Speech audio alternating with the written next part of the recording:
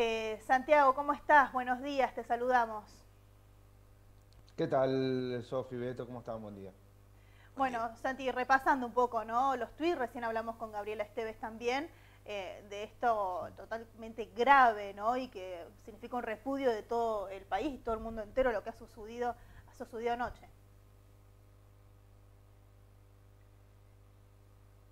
Sí, a ver, yo creo que, como ya se ha dicho en, muchos lugares, estamos ante eh, dos cosas, un hecho criminal y un hecho político eh, que debe esclarecerse lo antes posible, sobre todo porque hay eh, gran parte de la sociedad esperando respuestas o necesitada de la mayor cantidad de información posible para llegar a una conclusión de lo que sucedió anoche enfrente de la casa de Cristina.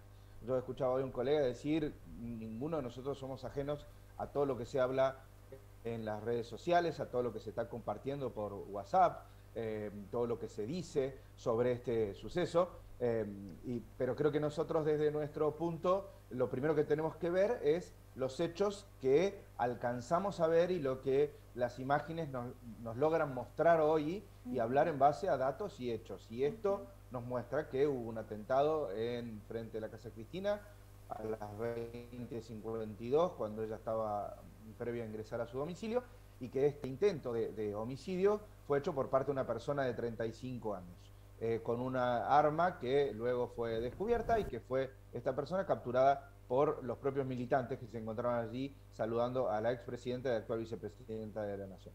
Eh, estos son los hechos. Y esto es a lo que debemos remitirnos, creo, en el día de hoy, sobre todo, esperando el desarrollo de la investigación y de la información. Sí, bueno, y también importante lo que suceda después ahora de esta reunión de gabinete, eh, Santi también, ¿no?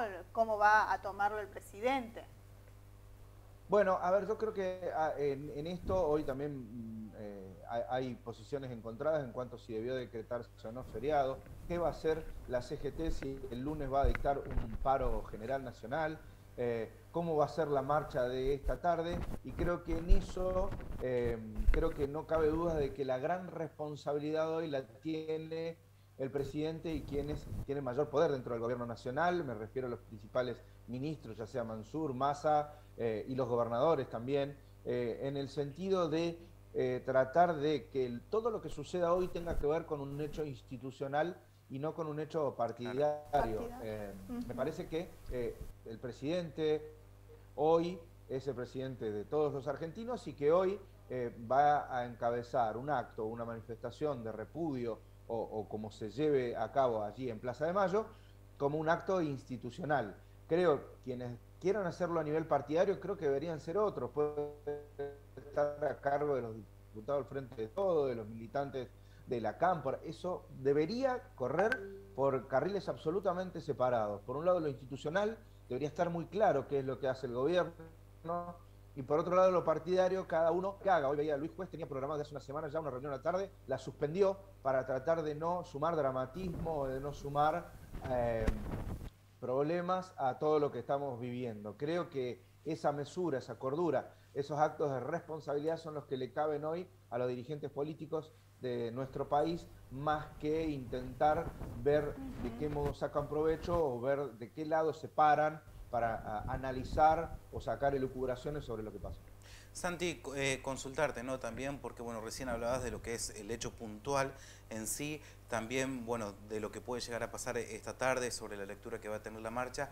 Ahora, el episodio en sí, digo, ¿qué lectura se puede hacer desde el punto de vista simbólico también, ¿no? Porque eh, es de alguna manera también un ataque a la democracia. Muchos de hecho lo han caratulado de esa manera que desde la vuelta ¿no? a la democracia no ha sucedido un hecho semejante, ¿no?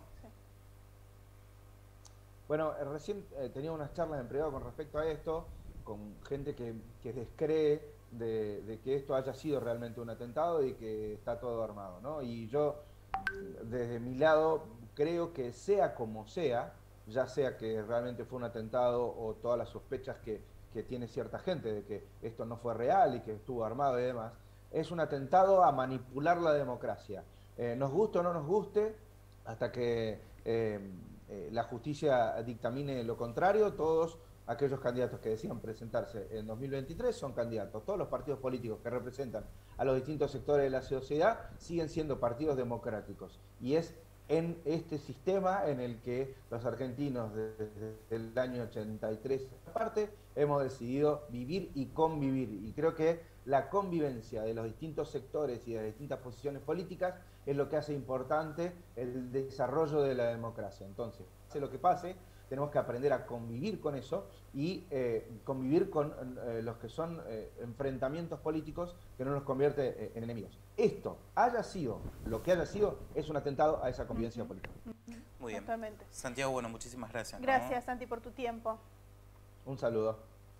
Bueno, ahí estaba Santiago Berioli, colega también del canal. Sí, conductor, del Fórum junto con Andrés Ferreira, ¿no? Así es.